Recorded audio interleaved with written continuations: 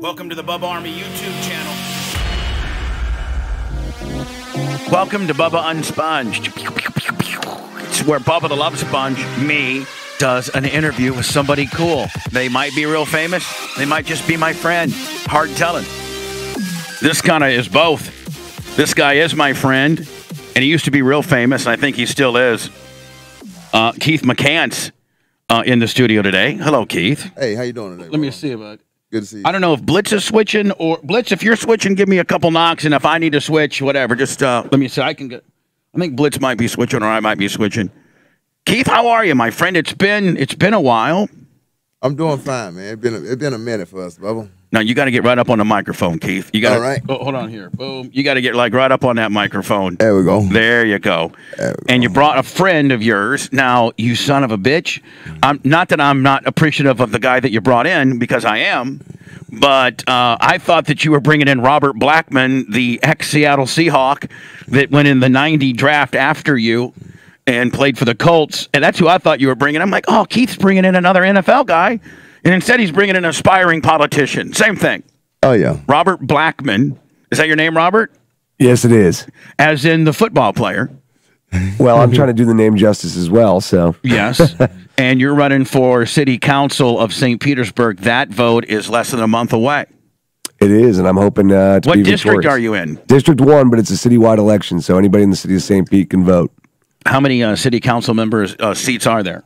There's eight total, uh, four up for election, two are incumbents running for reelection. So And so we'll we'll talk about that a little bit. Uh, Keith, obviously. Uh, now, Keith. So every Wednesday I do a thing called Bubba Unsponged. It's outside of my regular show.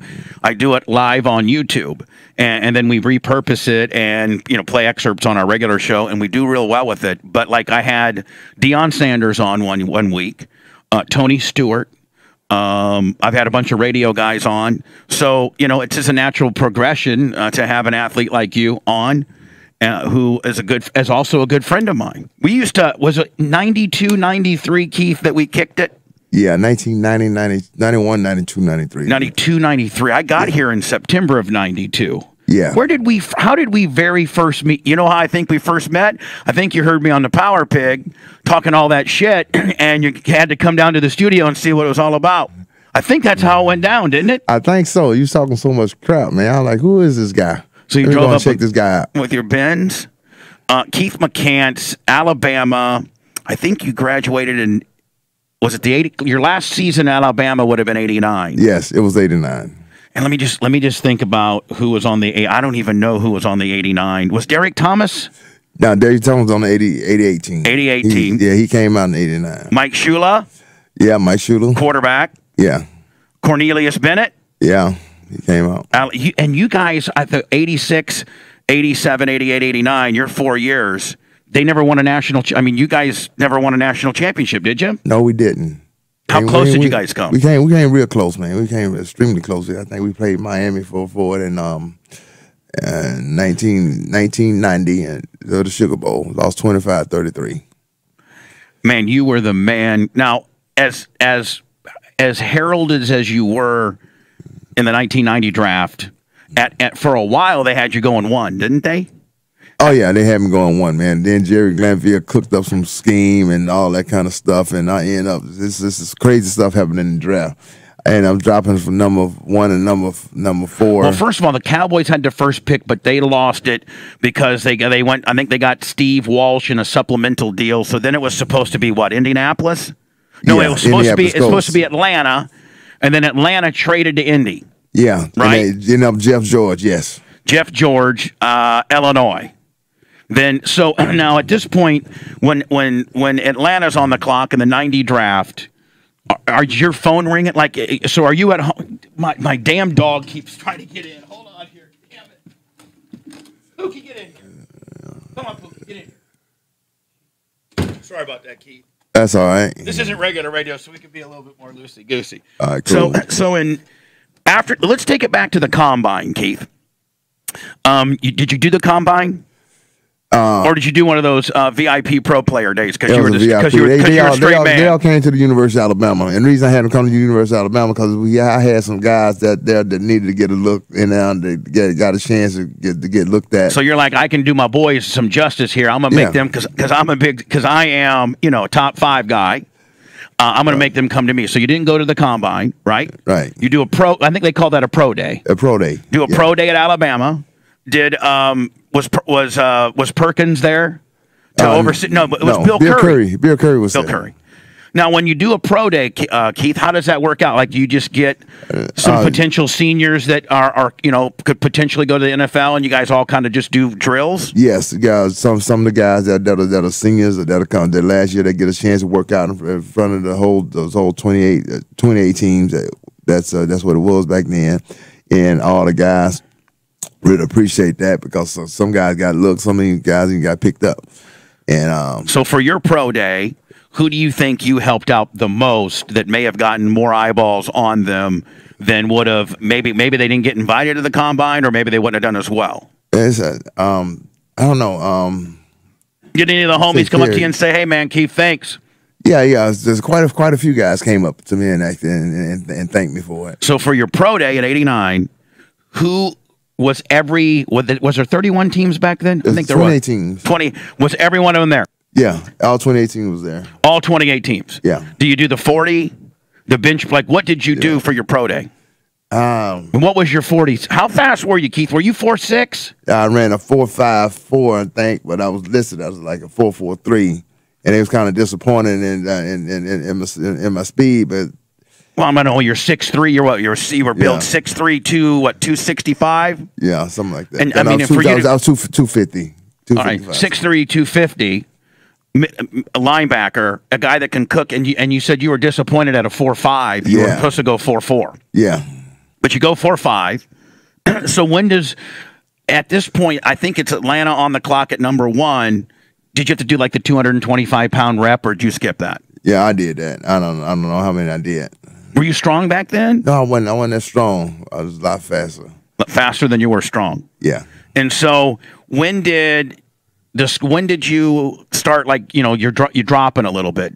You said Glanville cooked up some shit on you. Is that is yeah, that how it first Glanville, started? yeah, Glanville. Atlanta did a, what you call a shop job. That's when they call a media guy like Len Pasquarelli called him in, and it, all this stuff is in my book. Right, right. I, I got a book called My Duck Side of the NFL by Keith McCants that explain everything from my addiction to to my playing years of being a hitman. dark side of the NFL. dark side of the NFL. It's and you can get it through Oh, Amazon, right? Yes.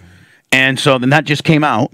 Yeah. or it's yeah. been out for a little bit, and we'll continue to promote it. Dark Side of the NFL with Keith McCants. It's available at Amazon, and it goes through a lot of these questions.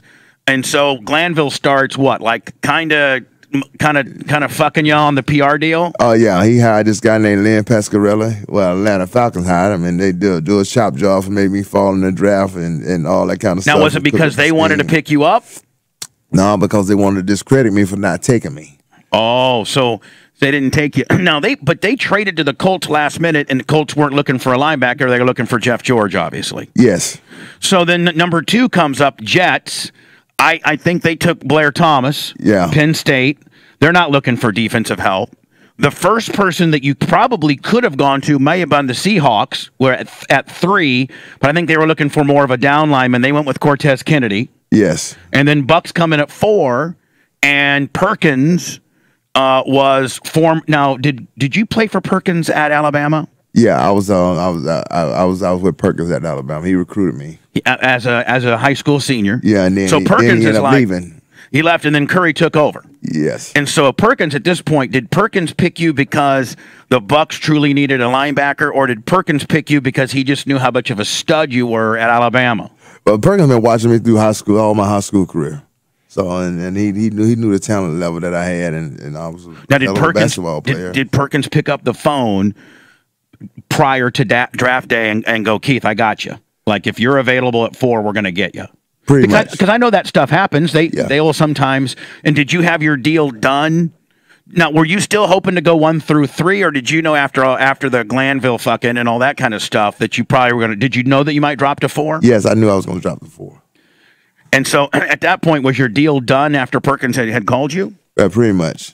It pretty much it pretty much was a done a done dollar. Here, here is the ninety. uh, in the beginning of this calendar. This is the ninety draft, and I think I think Robert, you're the one that got this from a guy in England, didn't you? It was a guy in Australia, and it's extremely hard to find this old footage. You have to talk to a lot of strange people in a lot of weird corners of the internet to get this stuff. So Now, now, Keith, at this point, what what what Chris Berman says is this some of Glanville's bullshit, like the the stuff that they were saying as far as you were partying and stuff like that. Was this all Glanville shit? It, it, it really was. There we the year of 1990. The name Keith McCants uh, had to be everybody's top choice. Uh, junior linebacker, Alabama, uh, deciding to come out. That's right. You came out as a junior, Keith. Yes, it was. Now, Keith, did you come out as a junior because you at this? I think you even said that you knew that your knee was not doing as good as the NFL knew, and you probably knew that you couldn't play another senior year, or you'd do that much more damage to your knee. Exactly. I knew. I. I. I, I knew you knew I you was had to get out. I, kn- yeah, I knew I was hurt, but I. I, I decided, come on, come on. Well, you on, had as to. a junior. Yeah, I had. I had. I had. no And everybody choice. figured that he would go first, that he would indeed be uh, become. Uh, Now, Keith, during the prodding and the medical, the medical history and stuff like that, or during your pro day, did anybody sniff out your knee, or nobody did? Everybody looked at the knee, and um, soon as, as soon as I got drafted, and, and, and I got on a plane and came here, had exploratory surgery with Dr. Carson here in Tampa Bay to see how bad the knee was. Was actually what it was. So did uh, and did the Bucks keep that from everybody because when they opened you up, was it like, oh shit, this knee's worse than we thought? No, it wasn't, but they knew it was going to get worse. Oh, so they knew that there wasn't a quick fix. Right. That indeed, you know, orthopedically they just couldn't fix it. They were going to have to do something drastic. So they knew. Didn't at that point did they? Did, did they did they did their attitude change towards you once they opened your knee up?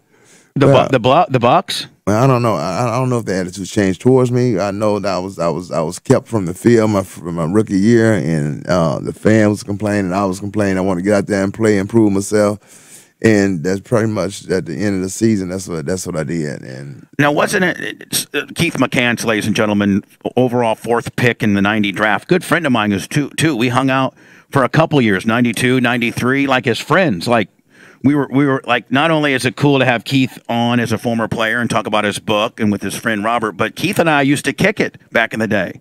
And so it's kind of like, uh, you know, talking to a friend a little bit. I, Keith, just now, Keith, how long have you been back to the St. Pete area? I know that you were up in Alabama for a while. yeah, I went to Alabama for a while, and then came back here in St. Pete for a while. I've been here about a year now. And I think you're doing some radio stuff, are you not? Yeah, I am. So we fast forward to 90. Here's here's the draft. This now it's they've picked three. They went it went uh, Jeff George in one. Jets picked uh, Thomas at two. Penn State Seahawks three. Now I think at this point everybody's like, okay, Keith McCants has got to go. It makes sense. It's Ray Perkins, his ex-coach, and Keith McCants' stock has fallen, and this is them talking some shit. remember the Falcons or whatever they wanted to do uh, with their pick. If you were with us this weren't with us this morning on game day uh, before the draft began, we reported the story out of the Atlanta Constitution. Same thing happened to Sapp, didn't it, Keith? They Yeah. they muddied him up night before. Remember? Yeah, they did. like the you know, marijuana like oh, he smoked marijuana. Well, big fuck. Like who cares? I know. I mean, if they let smoking weed legal, you guys wouldn't have to be hooked on fucking pills, right? That's the truth. Like seriously, the NFL needs to look at. You know, we're going to make legal. You can relieve some of your pain by getting high and not having to fucking take. Cor- I mean, I can only imagine the shady shit that happens in the NFL, shooting you up with cortisone and take these pills and take those pills, and that's all legal. But you can't smoke some weed to feel better. And, Right. they, and they, I think Warren dropped dropped like ten spots, didn't he? Yeah, he did. It really did. Warren was pissed off about that. unnamed physicians and said that Keith McCants may need knee surgery that would shelve him for six or seven months. Uh, And so, Keith, that was right. Right? That was right. Yeah. That report. all essence, Now, Keith, are you sitting at home? Because at this point, man, you know, you're a player, you're tr- and it's going to be big money. And there's a big difference between being the number one guy and being the number four guy. And I know at this point, Seven million dollars difference. and uh, and you're just seeing this money slip away, and you want to take care of your family, and you want to buy the bins with the boats and have the white bitches like all of us want to do, and like you did. Even though, I mean, I you wrecked havoc with what you got. I can't even imagine if you had seven million more than you had. I'm kind of glad that you, because you would have gone fucking crazy. Shelfer for the oh, wow. entire 1990 season. Now, this comes on top of some things that have been questioned about McCants. Maybe that he doesn't work as hard as he should. Uh, maybe that uh, that off the field he's enjoying himself too much. Uh, a lot of people who I will may- tell you that Keith and I did enjoy ourselves. Maybe not too much, but we certainly had some good times now, didn't we, Keith? Yeah, we did. We had may not have been in the know, but nevertheless We had a blast. the perception of Keith McCants. Uh, Tampa Bay has the next selection. Ray Perkins is the one that recruited him when he was the coach at Alabama, and so Was Ray cool? Yeah, Ray. Ray was a player coach. He he, he really was. So out of all the play, the guys you, I think you, uh, Buddy Ryan was a coach. Who was the coach? Yeah, Buddy Ryan's a great coach. Who was the coach at Houston when you went there for a year and a half? Buddy Ryan. Buddy Ryan, and then Yeah, he went. well, then he yeah, went to yeah. Arizona and brought you in. Yeah, he did. all of this angst that Keith has been feeling. Inventor of the 46, right? Uh, 46 oh, D. yeah. The 46 They go by defense the is something boards. serious. Those 86 Bears, or it was an 85 or 86 Bears. 85. 85, uh, 85 or 86 Bears with the with with Singletary and Wilber Marshall. Yeah. And oh, Gary Fencik and in about 10 seconds. We'll see what the Bucks do. Tampa Bay selects Keith McCants, linebacker, University of Alabama. Good. That's done. now I think they pipe into you, Keith, and you're live from Alabama from your mama's house, right? Oh yeah. Close the book on that. No, actually, What's the- from my apartment in Alabama, What's the first thing you bought your mama? A house. I built a house. You built a house. That's the first pick is, uh, overall. San Diego. Look, look how thick you are. Thick as fuck. Look at that. There he is, Keith McCanson. We we told you Keith was with us earlier from uh, his home. Still had a pretty face on you though, didn't you, cuz? Oh yeah, I want you too Mobile. Bad. Ain't too bad. We told you to relax. It wouldn't take that long. Uh, Keith really wanted to say, I'll tell you what, fucking took seven million out of my pocket, bitches. All this nonsense. That's exactly what I was thinking. by the Buccaneers and a guy who Mama, you're getting 3,200 less feet, square feet, baby. Well, you can smile. All How do you feel, my friend? Hey, I feel great. It's a dream come true. It's all over with now. Ray Perkins uh, talked to you a little while ago. Did you have a conversation with him yet, Keith? Yes, I talked to him a few minutes ago, and um, we discussed some things that we're gonna have to do. So, Keith, I don't to play this all. At that point, had Perkins given you the bad news where they were going to try to put you from an outside fucking badass linebacker to a down lineman? And who was that? Don't even tell me the guy's name. I, I Fred, uh, Fred Barney or somebody, some bullshit defensive coordinator had some brilliant idea to put you down as a down lineman. Yeah, he did. They, they weren't telling you that when they drafted you, were they? No, they didn't. Because you were out. Were you outside or inside at Alabama? I Alabama? was inside linebacker. And do you mm. think that you would have done better?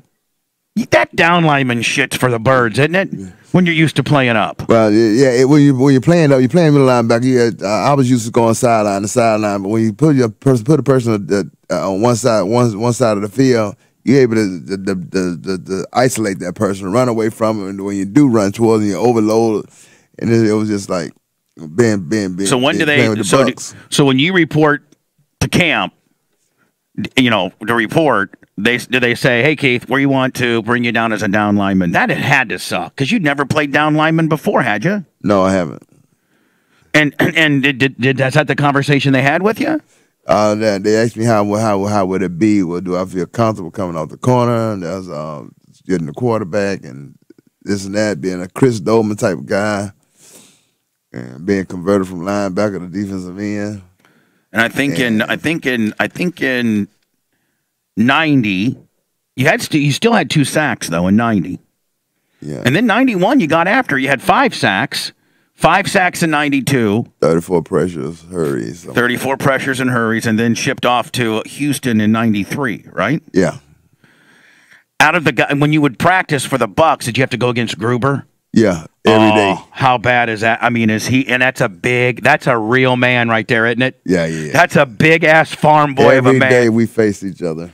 Oh, would you ever say, Paul, man, come on, cuz, just chill out? Because he was intense, wasn't he, Keith? Paul was great, man. He was he was a great guy. We I think on that 90 team, what is it? Reggie Cobb, Yeah. Vinny Testaverde, Gruber, and um, uh, let me see if you can remember the guy's name. A pretty good friend of mine. Well, at least you know we've kept in touch. Um, Indiana University guard Ian Beckles. Ian Beckles, Ian Beckles. rookie, uh, made the team and went on went on to play for a while. And then I think I don't really know much about. I don't remember '91 too much. I think '92.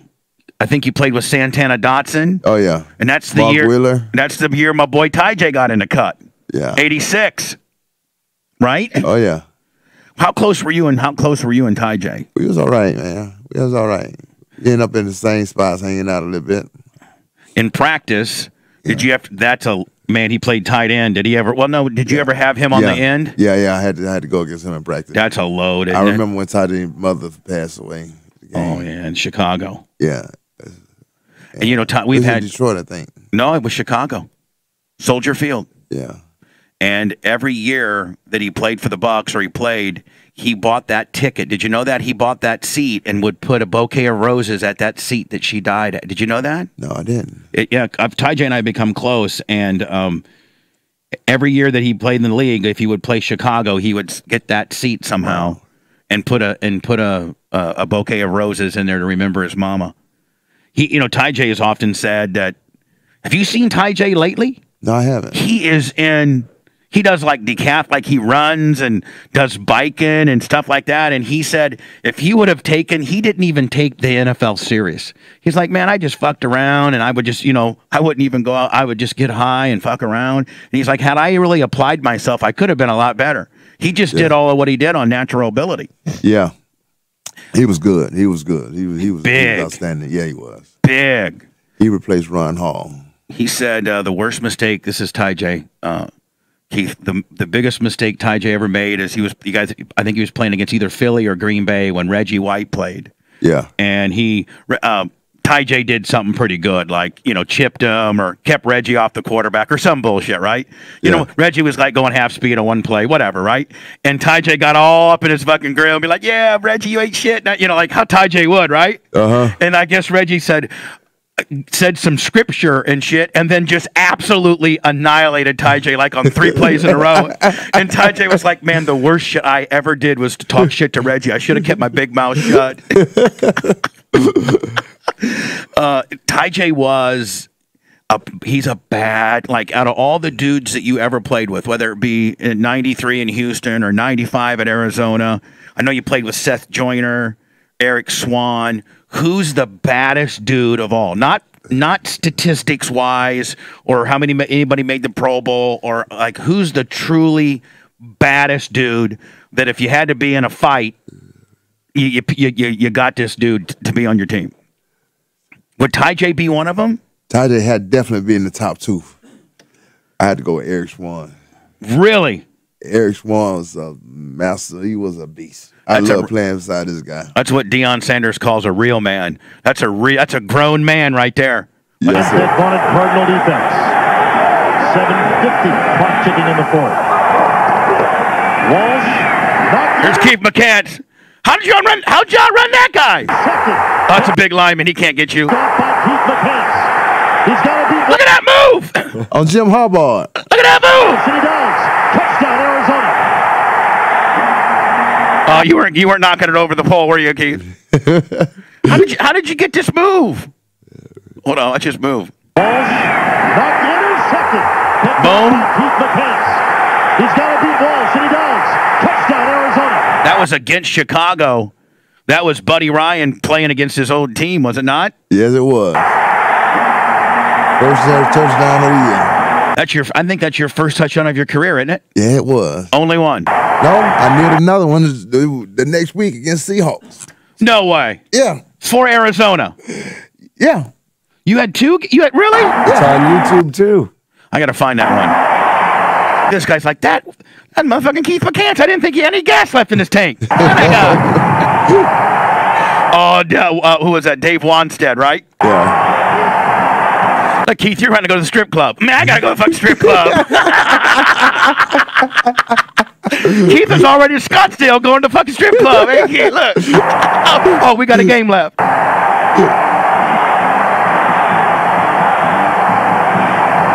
Keith McCants was a bust at Tampa Bay. Played for Buddy Ryan at Houston. They let him go. He's here in Arizona, brought in to pressure the quarterback, and he's come up with the biggest play maybe of his career. Now, Keith, how big were you then? Were you like 270, 275 here? 265. 260. That's really light for a defensive lineman, isn't it? Yeah, I was there. I was there bas- basically just to rush the quarterback. Just for some speed, Right speed on the corner. Yes. I talked to him I yesterday. I, was said, I to see you com- compromise Eric, Eric Swann. Now, is this Glanville as the as the play by play guy? Yeah, he is. Being a di- he, yeah, motherfucker, he he's all about being cool to you now, but he's not saying, "Well, I, I did a smear campaign back at '89 to really fuck this kid."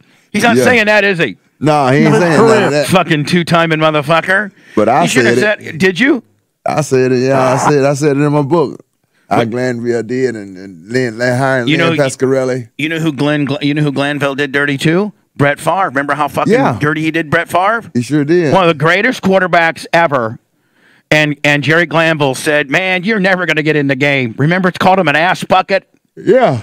I talked to him yesterday. I said, I see you making all kinds of plays. I see you Yeah, place I could have made for you, you fucking hayseed. doing things that you never did before. He said, you know why? I'm right next to the big guy. I'm right next to the Swann. They got they got to uh, account for him. They let me Shut up, Glanville, you two-timing liar. go. I get to make plays. what a play! That's the first defensive touchdown for the Cardinals this So Keith, when you were in when you were in Arizona, there, I think you were there a year. Two years. Were you there in two years? Yeah, year, year and a half. Yeah. What was your favorite city? I mean, you, obviously you played in Tampa for three or four years, and then went to Houston. Uh, I'm thinking Houston might have been your favorite city. Houston was the city. better than T Town, better than the White House. Oh yeah. It it, it What do you know about the White House, cuz? Houston was one game from the Super Bowl. Oh, that's right. Who was the Warren Moon was the quarterback. Yeah, motherfucker. I was going to say Warren Moon. Don't tell me. I'll tell you who's on some of that team. You ready? Oh yeah. Uh, Warren Moon, Sean Jones, Yeah. and I think you had Wilber Marshall. Yeah. Did you have William Will- Marshall, William Fuller, and Lamar Lathon? We had a loaded powerhouse. at the and the '93 Houston. And Buddy, what now? Why Buddy? Buddy did good there. How did he get fired out of there? Buddy, he didn't get fired. He had a, he got to, took the job for Arizona Cardinals. Oh, that's right. That's right. Uh, Keith McCants uh, in the studio today. Keith, what do you think about this? I got it on the screen now, and you know this. And and, and Keith, I think that you know me to be not a racial guy. Like I, you know, uh, and I hate to say this is a really a cop out when white guys say, "Well, a lot of my friends are black." Well, you know it's true. I got a lot of African American friends, a lot. So you know that I'm not a racist guy. Uh, Right. You know that. Am I am I boring you, buddy? you get some Uh, sleep no, last night, no. guy? so you know what this blackface stuff. Don't you think that our society goes way, way overboard? And don't you think that our society should gauge people on what their meaning is? Like if you're dressing, like why couldn't I, Keith, dress up as Biggie Smalls at a Halloween party? Wow. Why couldn't I? Why couldn't I dress up like Keith McCants, wear a 90s Cardinals jersey, and be my friend Keith McCants? You know that if I did that, if I wore brown makeup, I'd be fucked. Like it'd be bubble Butt sponge, blackface. But that's not my intention. So this guy from Notre Dame, he's an African American guy, and this is his past weekend that he was playing. And don't you think that's a little overboard and that that's just not a good look? Well, it it, it, it it's, that's, that's something serious. That's overboard, don't you think? That's Like, kind of that's kind of serious right there. and, and, um, like it's just all you're doing is just open yourself up for people to screw with you. Yeah. Because you're instantaneously just polarizing people. What kind of pe- statement he's trying to make? yeah, I don't know what he's trying to make. Like, you know, like I don't know. Like that is a little excessive for eye black. I've known you. I know you wore an eye black before to keep the glare out, and that's not this guy's intention. Wow.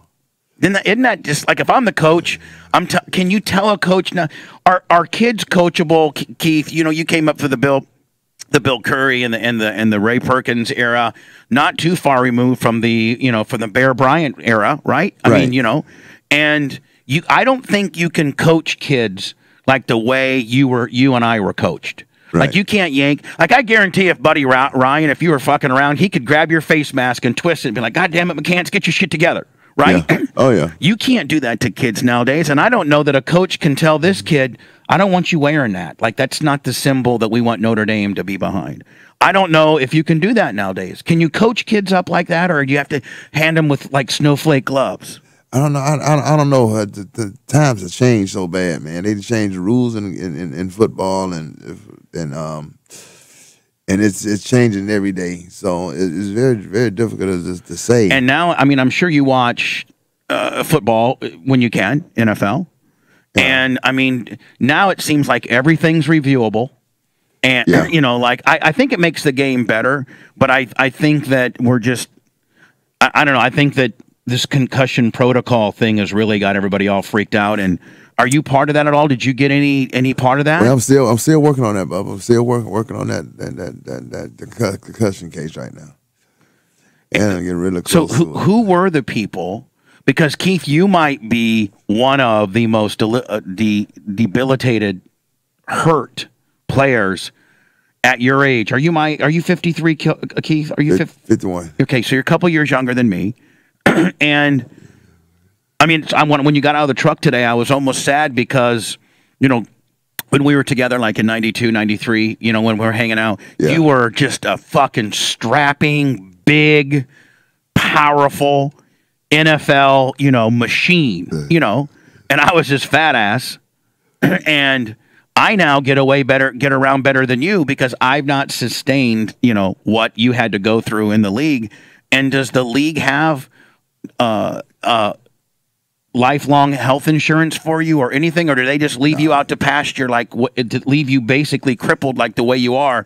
Do they have anything for former players? Well, now they they they they will pay the copay on hip replacements and knee replacements or things of that nature, but they they they trying to get better at it. And but before they had nothing for for the ex football players, and um, they just left us left us out to dry, and that right there is, is it was a bad thing. So now Now, with uh, the amount of money that they earmarked for concussion, okay, whatever, there was a large amount of money. Is it my understanding that nobody, guys like you and, you know, really, really hobbled up concussed players really haven't got anything? They still haven't really even divided or, or found out how they're going to do it. Is that true? yeah, that, that is true. So, Yeah. no, nobody, yourself, Junior Seau, family, people that really suffered from these concussions, you've not got one one bit of real at all, nothing. None, none, none whatsoever. But I talk about that. I talk about all that stuff in the book, and that's the reason I wrote wrote my book called My Dark Side the NFL. People like Andre Waters, Junior Seau, Jeff Arm, Bobby Petrez, Tom McHale. People have gone to take their own, try to take their own life because they lost the ability to live life on life term as a normal human being. The struggle that we go through every day, not just physically but mentally as well. What was? Did you ever get diagnosed as? And back in the day, Keith, when you played, nobody ever got really diagnosed as a concussion. If you didn't see five, five, you know, if you couldn't, if you could literally get out there and didn't have a fucking excruciating headache and didn't have, they just threw you right back out there, didn't they? Basically, basically, that's exactly what they did. And, uh, but I had like 17 concussions, and I did di- diagnosed with the uh, the Effects. dementia. Yeah. So Do you find? Do you find yourself forget? You know, very forgetful and and having dementia. Yeah, I, I I do from time to time. That's that's why I have somebody with me ninety percent of the time. What uh what hurts the most on you, Keith? Your hip, Yeah, my hip not the knee that was in question. But, knee but already been replaced. knee been replaced. Yeah. Now it now it's your hip. Yes, And have you been have you been scheduled to go in at all? but yeah, I got to lose a few more pounds, so I've been been on a strict diet, What are you weighing right now? uh, like three ten. You're not three ten. Yeah, Yeah, but you're six. What? Six, yeah, I'm six five now. well, you grow, you grow, you grow, you grow in your old age, bitch. I thought you were six three. Yeah. Well, how shady was it? I know you can talk a little bit about it because it's so far removed, and it's all the rage now. You know, recruiting uh, on the collegiate level, and, and obviously your former school, your you know your where you're an alumni. You know, Alabama is one of the very best at it. How how corrupt was it? Were you being recruited in 85, 1985, 86? Is when the, the recruiting process did did virtually every school. What, could you have gone anywhere you wanted? Yeah, I could have went into school and, and, and I wanted to. Being a kid growing up in Alabama, was there anybody that was close to Alabama and you going? Was there a Miami? Was there a Florida State? That was uh, Auburn and Tennessee. And did you go to both? Yeah, yeah. I went. I, Visited I went, both? I, yeah, yeah, I, visit, I visited them both. Was was either was were the were Tennessee or Auburn in the running at all? Yeah, no doubt. And did any shady shit happen when you were being recruited? No, no shady stuff with Alabama. No, nothing that shit. No, I just I Not like remember what was it? The SMU that fucking uh, Craig James and uh, Eric Dickerson were rolling around in brand new Trans Ams and shit. no, I ain't had none of that. So, do you talk about in your book, Keith? You're a freshman. You go to you go to University of Alabama, and you know that when you're a football player on on for the University of Alabama, that's like next level shit, right? yeah. And the women, like, what was was it? You're this you're this you know you're this stud out of high school, but from a small town. You don't really, I mean, right? You, Yeah. Very small, and you know you were kind of. Keith, you were kind of farm, weren't you? A little bit. You weren't Oh big yeah, city. I'm old country boy. yeah, you're a country boy, right? Yeah. And you go to University of Alabama as this very high, uh, one of the most heralded uh, high school athletes. How much pussy was just thrown your way? A ton. And can you remember the very first rock star experience while you're in college?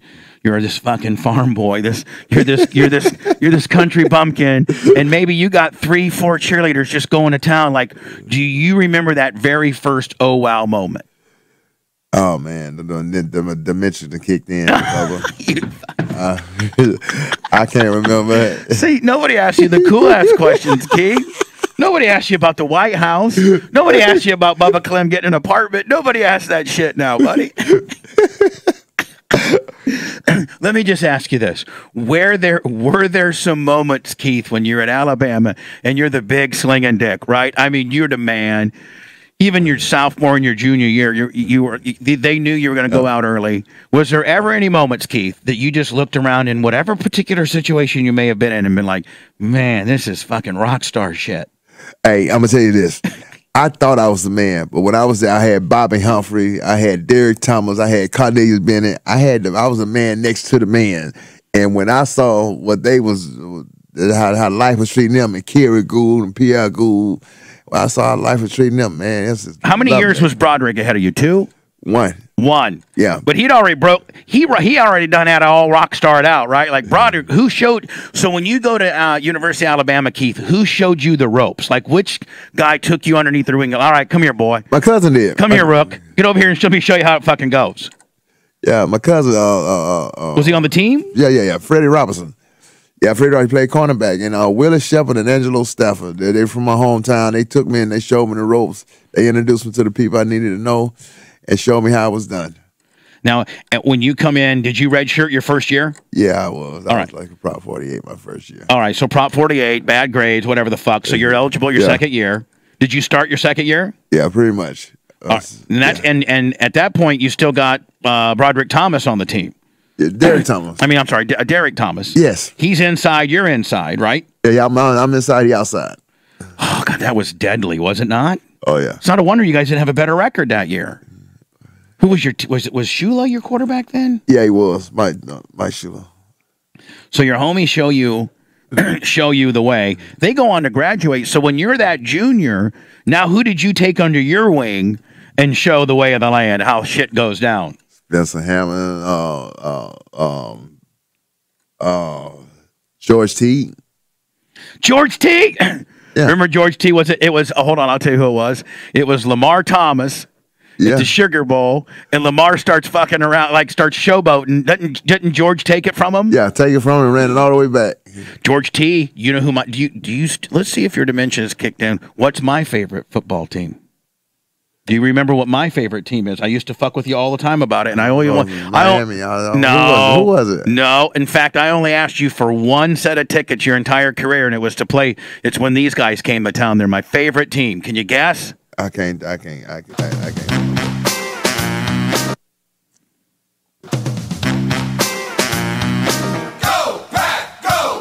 Green Bay Green Packers. Bay Packers. That's right. The Green Bay Packers. That's right. Green Bay fucking Packers. You played. Yeah. You played two or three. You played three or four times in Lambeau. Yeah, I did. What now? Is that some backward ass shit? Like you guys would go to like I had some great games against Brett Favre.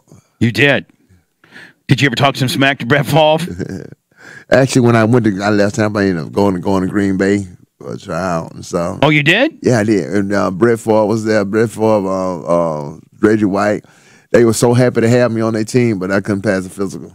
Bad knee. Still the knee comes into play. Yeah. when you played when you played in Green Bay, you know, you played obviously in Detroit. You know, Yeah. you played in Chicago. You played in Minnesota. I'm talking about people in the league at that time. Uh, you know, the Bucs were in the Central. Um, is Green Bay as sleepy? I've been to the Green Bay a lot, but I got to think that as a visiting football team, that it's really not. There's not a lot to do in Green Bay, is there? No, it's not, man. It just it's just it's cold. It's just cold there. When I was when I was there, we was going to practice. Man, I seen guys earlobes and pinky fingers falling off from frostbite. Where was your favorite road city to play? Like when you would go, and, and so playing for Houston in the in the AFL, and then obviously Phoenix on the West Coast, and then the Bucs for however many years. You know, for the well, let me see, one, two, three, six, seven years you were in the league. You pretty much played almost. Probably, I don't know if you played New England or anything like that. Yeah, I did. But where was your favorite place to play out of town, and Um, why? Oh man, I'm seeing Dallas, Dallas was a good place to play. Philly. Yeah, Philly, Philadelphia. Oh my God, Philadelphia. That's that was a oh man. We had with Philadelphia was the dirty south place to play. the dirty south did now when you guys would have cur- like when you have curfew and stuff keith would there be ways to break curfew like did all the boys break curfew like if you were a keith mccants or a, you know not, not some rook that's trying to make the team but like if you were established could you break curfew and did you No, I didn't. You didn't have to break curfew. It's just all you had to do is get a get somebody the key to key to your room. Oh like a like a, a friend that would maybe be swinging by Yeah, and so you guys didn't have to room together you'd have a private room yeah. Most of the time we did. and if you had a private room then you could just have a visitor Yeah, and so there wasn't any well, you didn't have to really go out you could just have the party come to you basically, basically that's how it worked. Keith McCants in the studio. Keith, uh, a longtime Buccaneer, and then a Houston Oiler, uh, and then an Arizona Cardinal. Uh, his friend Richard Blackmon, who I thought was a Seattle Seahawk, Robert but Blackmon. I'm Robert. sorry, Robert Blackmon, but instead, instead is a St. Pete guy that helps out Keith a little bit and is also running for city council. Keith, as we get closer to the election, uh, I should have you call the show, uh, Robert. I should have you call the show because we're heard on AM 820 and a few other places in Tampa, just to remind everybody to uh, to vote for you in the city council deal. Absolutely. I'd, I'd take all the help I can get. It's going to be uh, probably a tight election. Um, you know, trying to trying to spread the word and do some good. Uh, Keith, what do you think about the current Antonio Brown situation? Wow, man. Uh, I want to. I, I, I, I'm interested in seeing how. Um, Does a guy like that be able to come back, or do you think he fucked himself? I think he really screwed himself over, and uh, they're gonna have to take a very good look at the situation and see and how they can. Uh, Well, first of all, he probably needs to get this legal shit taken care of, like whatever. Nobody's going to touch him with the current shit that's out there. I don't Right. think. No, they ain't gonna they ain't gonna touch him with a ten foot pole, and they they probably they probably shouldn't. And then if you do touch him, you gonna want a guy like that who, who want to be a scam artist on their on, on their team. And you got Antonio Brown, the player, and you got Antonio Brown, the person.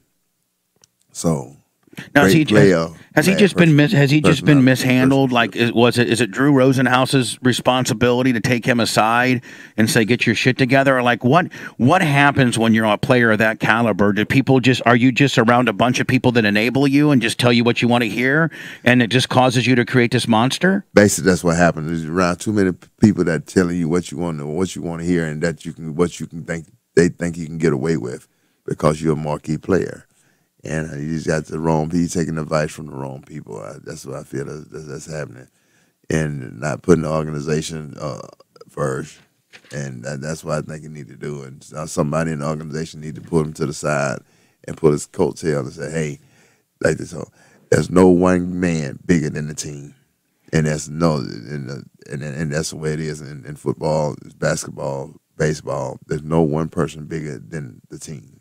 Who was the one guy that you played with, whether it be from Houston or whether it be from the Bucs? Who was the one guy that you played with that was just straight money, like just as far as ability, as far as attitude, as far as getting along with his teammates?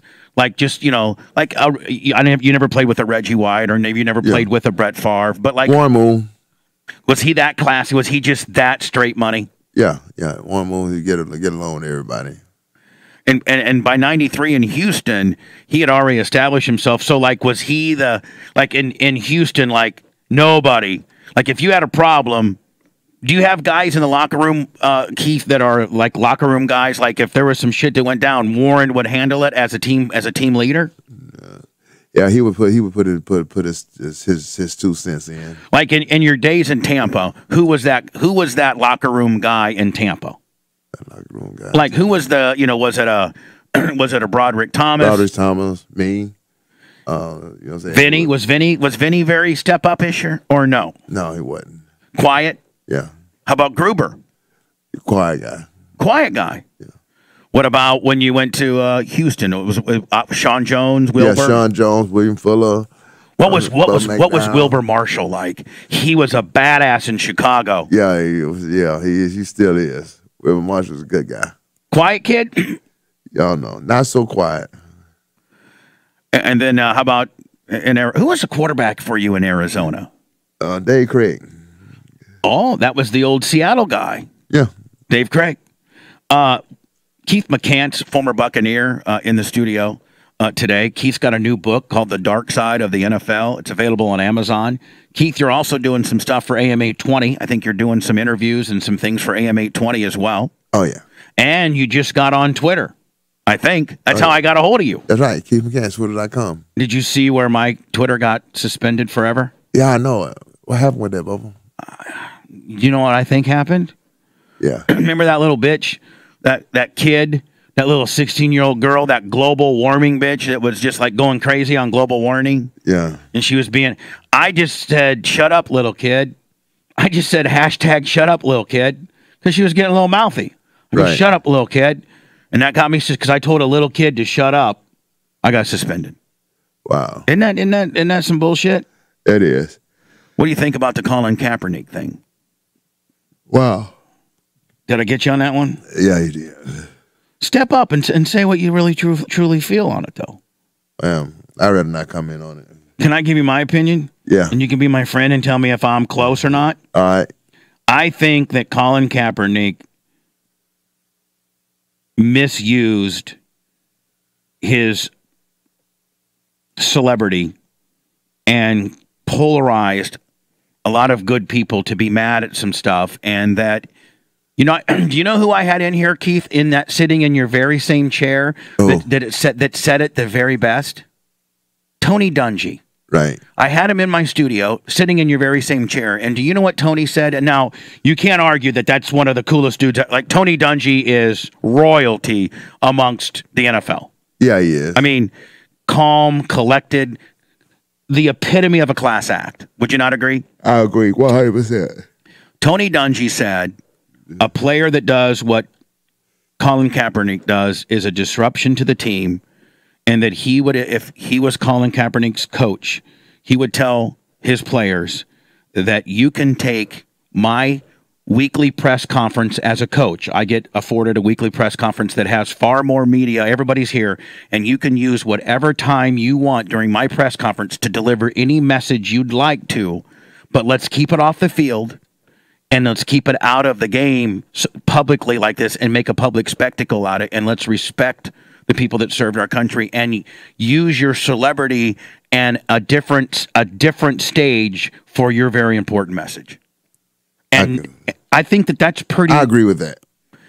and you know Colin Kaepernick, a superstar, could have very well have held held press conference after press conference and gotten all the footage on the same message that he wanted to deliver and kept it off the field, so to speak, and put people, fellow players, owners, general managers, fans, coaches, general put all those people at odds because it's a no-win situation.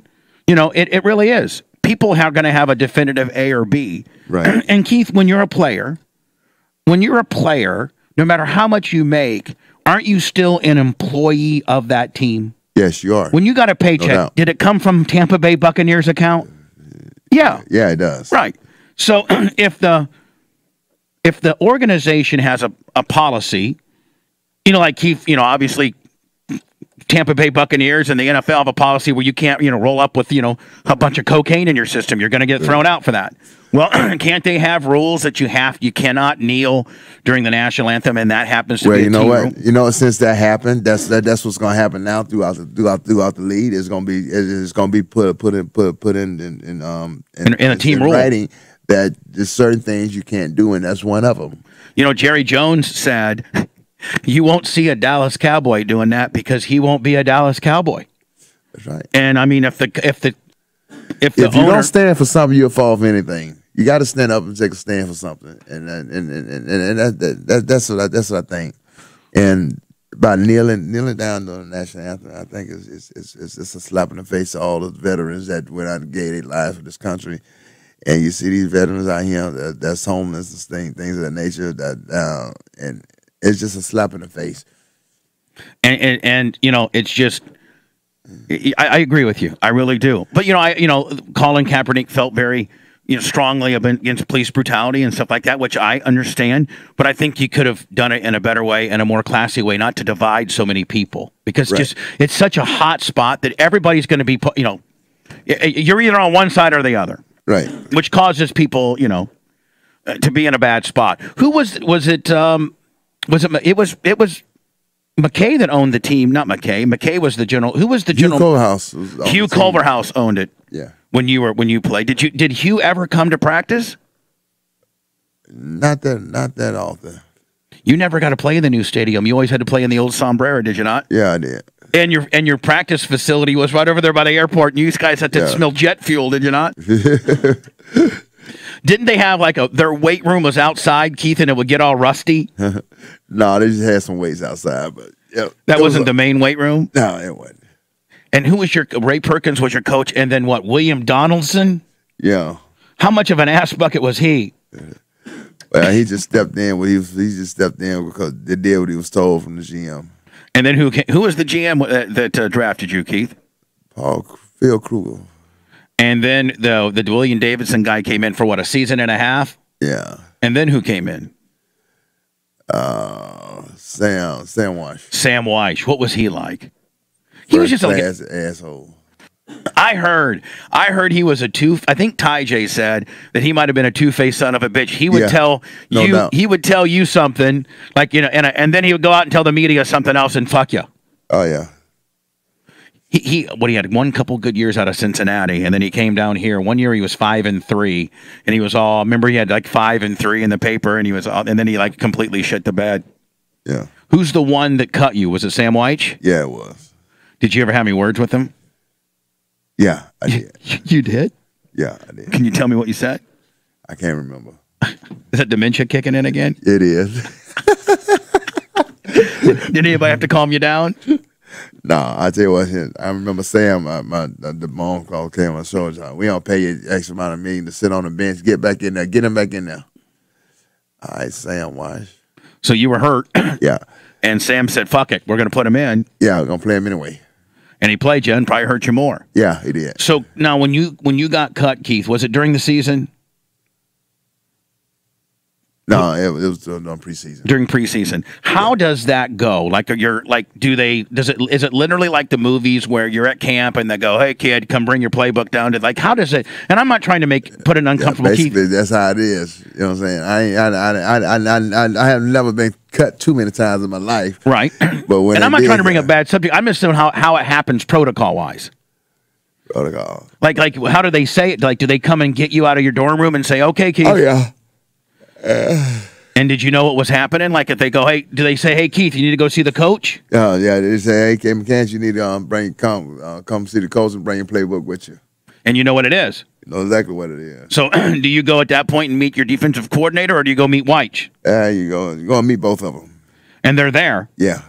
and they say, "Okay, Keith. Well, There's it two reasons why we're letting you go. Number one, free up money, salary. Number two, you damaged goods. You hurt. And what? And did, does that where First you? thing they try to do is shop you around for a trade.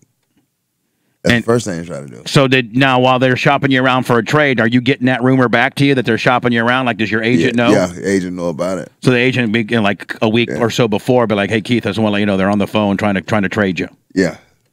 And did, was there any potential close trades that you know of? Yeah, well, um, actually, no, no, not not that I knew of.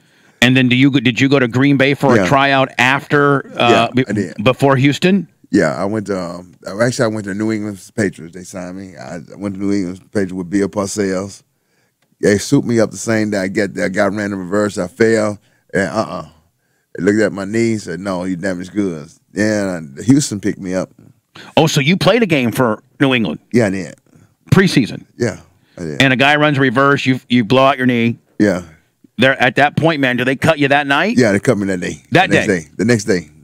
So you're going to practice, and they're like, "Okay, Keith, done. See you later." Yeah. Is it really that cut and dry? Oh yeah, it is. All right. So, did you even have an apartment, or are you just living out of a hotel? Living out of a hotel. All right, and you still had this big ass crib, I think, with Gigi back here, right? Yeah. And so, like, what happens as a as a professional athlete, Keith? You had this.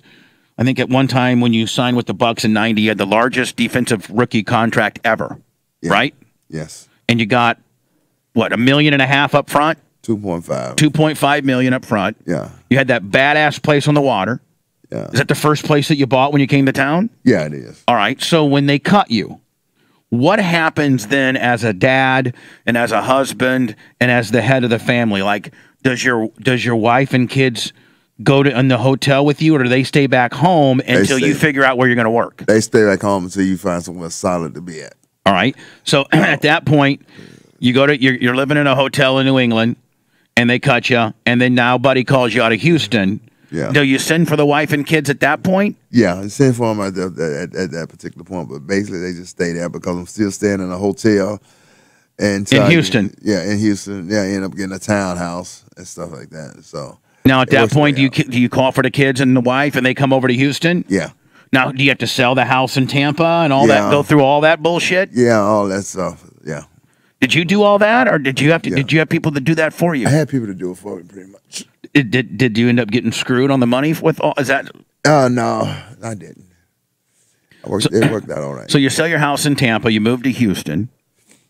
You there for a year and a half, yeah, and then Arizona. did you get traded to Arizona? or Did you? Did I you got cut again. cut again? Buddy had left. Buddy had left Houston. Who came in to coach after Buddy? Oh, The in Fisher was it Fisher? yeah, Fisher. The- and he cut you. Yeah, Same protocol. Yeah. Hey Keith, not working out. Your damaged goods. actually, Buddy Ryan probably told him to cut me so he could pick me up. Does Buddy call you personally then after you're cut and said, "Hey, ninety, Yeah. get your ass over here"? Yeah, basically that's exactly what happened. And was the money towards the latter part of your career? Let's let's say Arizona. Was the money okay? Was it decent? It was okay. It was, Mill? Yeah, it was, it was, it was all right. I mean, you know, en- enough to you know still be a high roller. No, not enough to be a high roller, but I had incentive then. But, but Bubba, you look at my book. I got paid off incentives off tackles of quarterback, uh, hitting the quarterback. Pressures and things like that. Yeah. Did you have Did you have touchdowns as an incentive? No, I didn't. I should have. Stupid ass. You had two of them. Could have you know, two hundred thousand a touchdown, bitch. Made an extra four hundred. What was your best year, Keith, salary wise? Probably at Bucs, right? Yeah, probably the Bucs. Was it more upfront money than it was salary? Uh, yeah, pretty much. Can you believe the salaries that are being thrown around now? The Oh, hundred and thirty I got- I million. that's something. That's something serious. I mean, do you do you ever see? The Marcus Russell contract. What was it? I think it was a hundred and 80, 100 something million. yeah. Wow. How about that? Who's your favorite player in the league right now on both sides of the ball, offensive wise? Oh. Kid out of Kansas City, Mahomes. Uh, he's pretty good. It's, it's it's it's it's hard to say. There's so many great guys. out You like the kid? You like the Florida State kid? Uh, the Bucs got Jameis Winston. Oh yeah, I love Jameis Winston. He's a big Jameis kid. Winston, Jameis Winston is doing, doing doing fantastic, man. I like that Bruce Arians guy, the new coach. Yeah. What about on the defensive side? How about I know who we might like? How about that 52 kid out of Chicago that came from Oakland, Mack? Oh yeah, he is awesome. He's a stud, is he not? Yeah, he is. Keith, Yeah, he is. Keith McCant's in for Bubba Unsponged. Keith, a was it six or seven year NFL veteran? Keith, let me see 90, 91, 92, 93, 94, 95, six. Yeah. I think 95 was your last year. yeah, it was. uh, with the uh, with the Arizona Cardinals. Keith is back in Tampa, the Tampa St. Pete area. His friend Mr. Blackmon is running for St. Pete City Council, and Keith was nice enough uh, to come in and do my Bubba Unsponged for me today. Keith, this is the, usually I do it over the phone, but today, you know, was the first time that I did it in studio because you're here. Right. And I and I thank you for doing that. And we got to keep in better touch. Yeah, we do. We actually do, Bubba. And and, and your book's out now. Yeah, my ducks out of the NFL on Amazon by Keith McCants. How long did how long's it been out, Keith? About a few months. Three months. A few months, yeah. Is it is it called My Dark Side of the NFL? Yeah. Does it talk about the pain pills? Yes. And uh and the and the shooting up with the cortisone? Oh yeah. Talking about this, yeah, all of that. Keith, would it be like when Sam White or whoever, you know, you got a blown out knee? Would they take you aside and said, Keith, we're going to give you this shot? You're not going to be. You're, you're literally. It's in the book, Bubba. You got to read the book. It- it's, it's all in the book. And the NFL is the precursor for a lot of guys to get hooked on these pills. Isn't it, Keith? Like that's where a lot of it starts because take these pills and shut up because you gotta your property and you're like a you're like a you're like a, a racehorse and you have to be ready to play. That's right. Right? I mean like a piece of meat. I tell it like it is, man. You got to get the book. My Dark Side of the NFL with Keith McCants. It's on Amazon. Go pick it up. I'm sure it's a great read. Keith, I'll get it. All right. And uh, let's have you back soon. And Mr. Blackmon, as you get closer to the election in the next two or three weeks, um, I'll get your number and we'll do a couple call-ins and and you know try to get you some you know some votes so I can so that I can have a friend on the St. Pete City Council. That'd be great, man. The Now don't elections- win and forget about me and Keith now because you're all big time. I, I've known Keith for too long to forget about him. I think we're attached to the hip. It's been about ten years. So Keith, thank God for this guy helping you out a little bit, Keith, because you know you can't get around that well. I know. And, and you know what, Mr. Blackmon, thank you for taking care of my friend. Hey, uh, for better or for worse, I think we're together now. So That's Hey, right. you know, Keith, and I'm really, I'm really proud of you. I'm not going to talk any shit or anything, but you know, you've had a long, hard road. You've been through a lot. You've been on the highest of highs, and I've seen you a lot lower than you are now. It looks like you're actually doing good. It looks like you're clean. It looks like you're sober. It looks like you're Doing good, you're good, bright feeling eyed. Oh yeah, and you know, you look, you look good, buddy. I need let's just get you a new hip that's all. so you can get back to that four six. Four five, man. Four five. Keith McCants, former Buccaneer, former six, seven time, seven year uh, NFL journeyman, and more importantly, a new author of his book called My Dark Side of the NFL with Keith McCants. Go to Amazon and get that. Mr. Blackmon, thank you as well. thank you so much for having us. And everybody, thank you. We're over and out on Bubba Unsponged. I guess I'll play a little thing here. Oh, nope. I guess I'm not playing a little thing here. Uh, Caveman, I'm just going to play a little. There you go. Just take it away. I'll play you some back. I'll play you some background outro music there. and uh, Keith, I'll walk you out, my friend, Mr. Blackmon. I'll, let's exchange information so that you got my number. Do it. All right, Keith. Thank you, buddy. All right, Bubba. Thank you, my man.